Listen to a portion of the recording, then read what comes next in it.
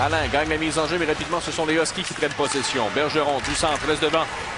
Rehorchak, le tir et le but! Patrick Rehorchak! Et c'est 2 à 2.